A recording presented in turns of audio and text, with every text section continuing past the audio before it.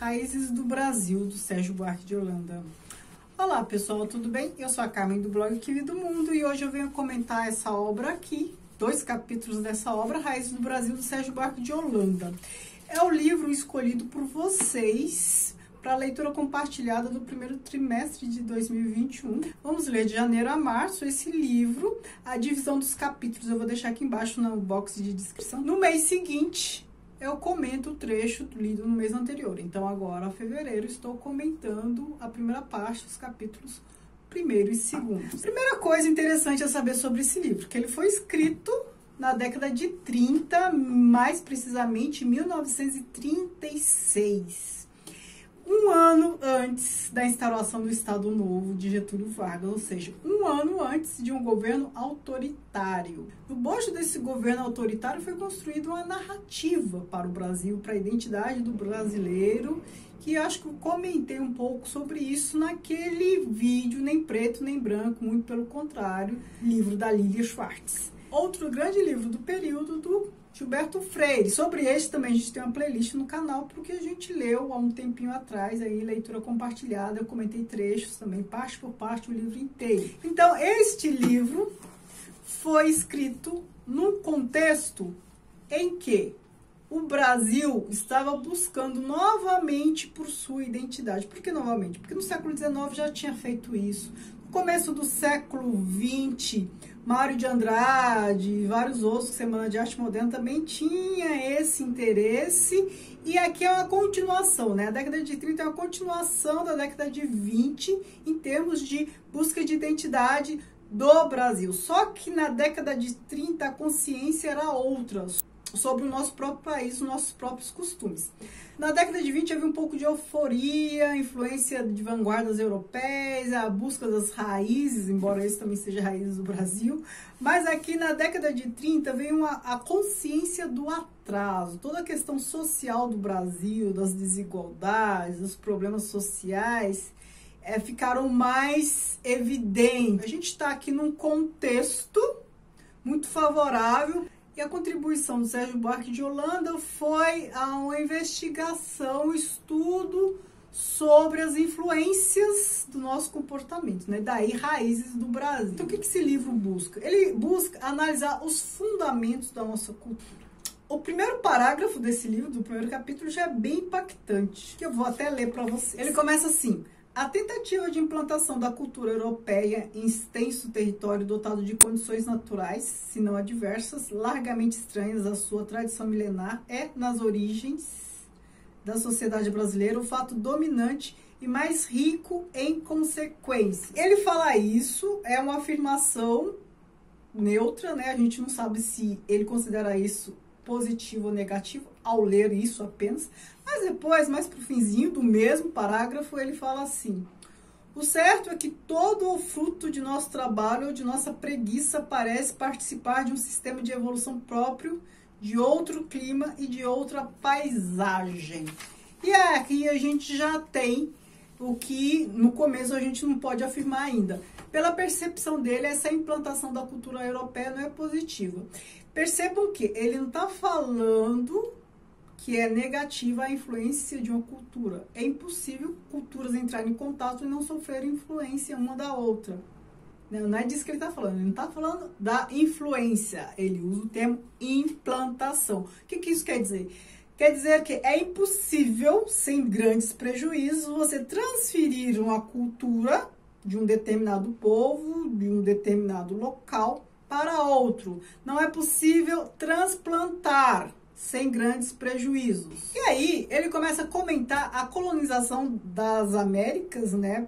América Latina, vou usar o termo América Latina, embora ele não use isso, esse termo aqui, porque seria um anacronismo, cometendo anacronismo, não existe esse termo na época. Mas para ficar mais claro pra gente, aqui América ele está falando, já que ele não está se referindo à América do Norte, ou que hoje a gente entende como Estados Unidos e Canadá, eu vou utilizar o termo América Latina, né? com, essa, com essa ressalva. Então, ele fala da colonização da América Latina. Então, ele está falando da cultura dos espanhóis e da cultura dos portugueses.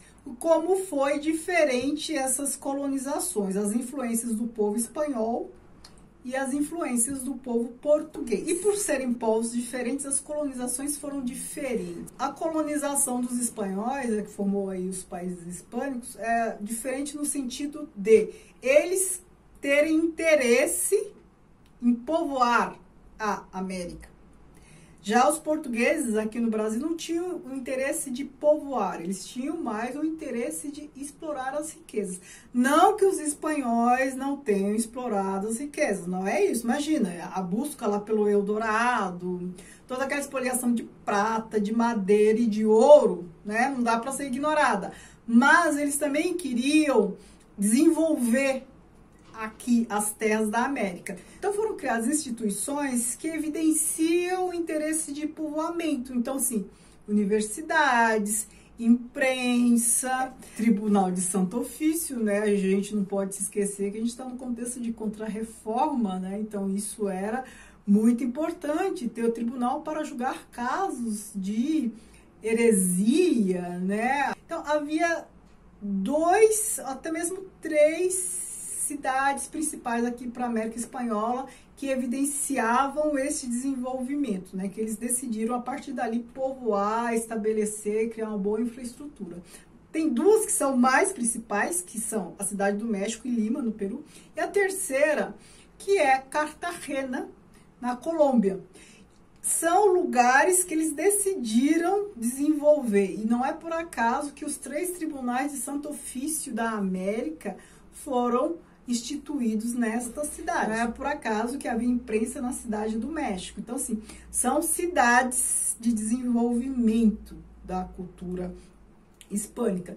Enquanto que aqui no Brasil, não. Aqui no Brasil era ainda terra para exploração, né? A depender do momento de cana, de ouro e de não sei o que. E ele apresenta características da nossa colonização. Em alguns momentos ele está falando da colonização ibérica, são características tanto da dos espanhóis quanto dos portugueses, em alguns momentos ele está falando dos portugueses. Então eu destaquei aqui quatro características que ele pontua: personalismo, falta de coesão social, frouxidão das instituições e hierarquia como forma de organização social. Eu vou ler um trechinho que ele fala sobre coesão. A falta de coesão em nossa vida social não representa, assim, um fenômeno moderno. É por isso que eram profundamente aqueles que imaginavam na volta à tradição, a certa tradição, a única defesa possível contra a nossa desordem. Então, o que, que ele está falando? Nós não temos a tradição da tradição, ou seja, nós não temos o costume de valorizar a tradição, e isso não é de hoje, assim, porque hoje a gente fala isso, rompemos com a tradição. Eu mesmo já falei isso várias vezes. Né? Hoje em dia isso é mais evidente, mas ele fala que já lá no século XVI a gente não tinha preço à tradição. Depois, mais adiante, ele dá uma explicação para isso, né? Mas por enquanto ele ainda não falou. Ele fala da hierarquia, né? A hierarquia como forma de organização social. Aí ele fala assim: toda hierarquia funda-se necessariamente em privilégios. E a hierarquia é o extremo oposto da democracia. Ou seja, por isso que ele fala, toda hierarquia é pautada em privilégios. A gente tem um sistema piramidal em que poucos estão no topo, né? Quanto mais no topo, mais poder e mais privilégio, e quanto mais abaixo, menos poder, menos privilégio, menos tudo. Ainda nesse bojo aqui dessas características, ele apresenta três características dos povos ibéricos, né? Ou seja, espanhóis e portugueses, que é a hierarquia, esse sistema de privilégios que eu falei para vocês, a obediência e a anarquia. Olha só o que, que ele fala da obediência. Ó.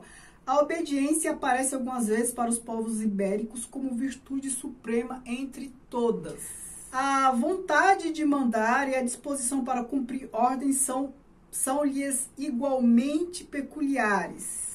Não existe, a seu ver, outra sorte de disciplina perfeitamente concebível além da que se funde na excessiva centralização do poder e na obediência. Se a gente está falando de uma sociedade que tem como sistema fundante, uma estrutura fundante, a hierarquia, torna-se evidente a valorização da obediência, porque sem obediência não há hierarquia. Para um sistema hierárquico se manter, é preciso, é preciso que cada um esteja no seu quadrado.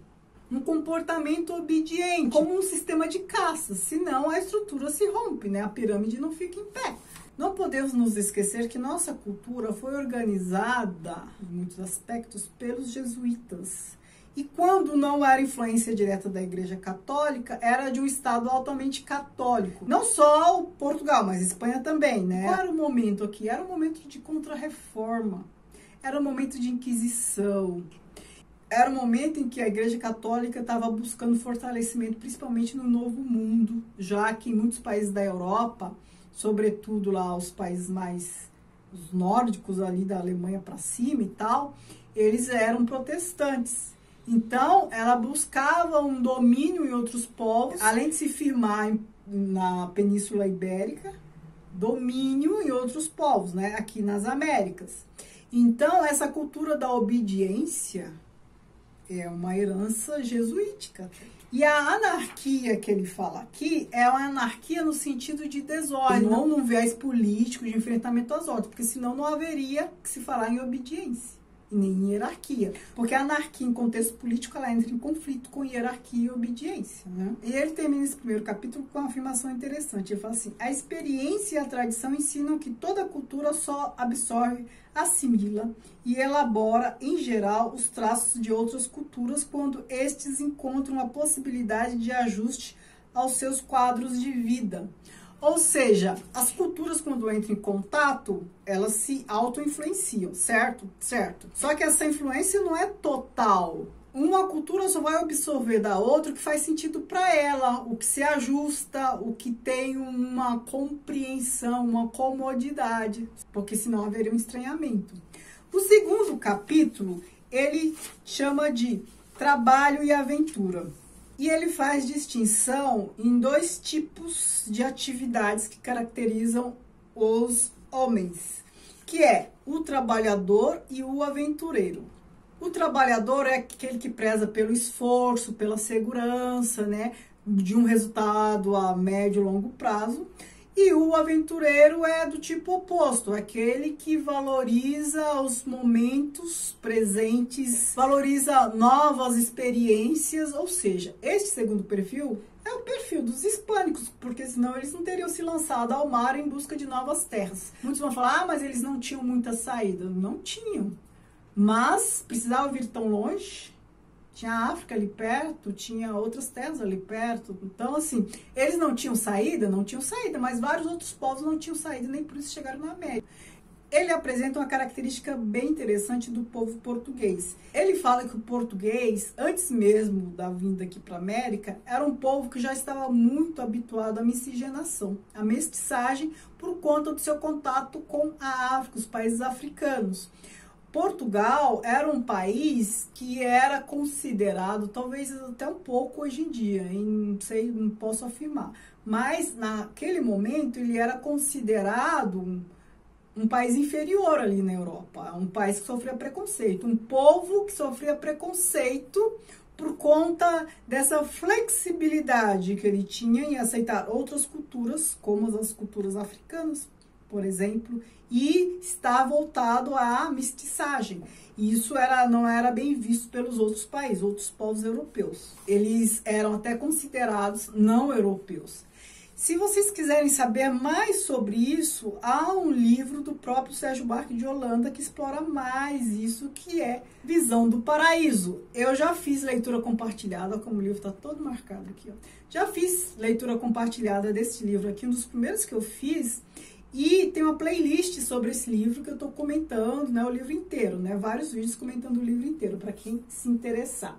Este livro não é tão famoso quanto este, mas é neste livro, essa questão aqui do perfil do português, que ele não é, que ele era visto como um europeu inferior, ali é melhor desenvolvido que aqui, porque aqui o propósito é outro, né? E aqui ele fala também da desvalorização do negro, aqui já falando das terras brasileiras, né? Uma hierarquia entre os povos aqui. Primeiro o português, depois o índio, depois os negros. Pensando ainda em comparação das colonizações, né, desses diferentes povos, dos espanhóis e dos portugueses, uma característica que atrapalhou a nossa, a nossa organização social foi a escravidão, segundo ele, a escravidão e a lavoura latifundiária, ou seja, a escravidão na lavoura latifundiária. Né? Essas duas coisas formaram a estrutura que prejudicou o desenvolvimento social de ofícios.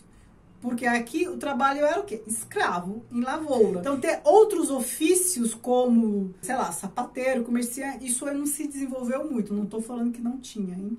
Estou falando que não foi tão bem desenvolvido como foi em outros países em que não tinha a escravidão como, como a força motriz da sua economia, seu desenvolvimento econômico, da sua atividade econômica. A última coisa que eu quero comentar, em complemento ao que eu falei sobre a questão da mestiçagem dos portugueses eles serem considerados não europeus, ele comenta aqui também desenvolve bastante ali em Visão do Paraíso.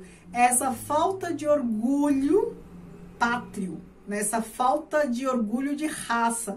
Isso tem tudo a ver com mestiçagem, né? Porque nós brasileiros não somos tão patriotas assim como muitos outros povos aí, por exemplo, nos Estados Unidos, a gente vê lá a bandeira americana nas casas e tal. Por que não somos tão patriotas assim? Porque nós somos um país de mestiçagem, né, de miscigenação. Então, assim, a gente não tem aquele, muito entre aspas, hein, gente, pelo amor de Deus, a gente não tem aquele orgulho de raça pura, né, que normalmente outros países têm.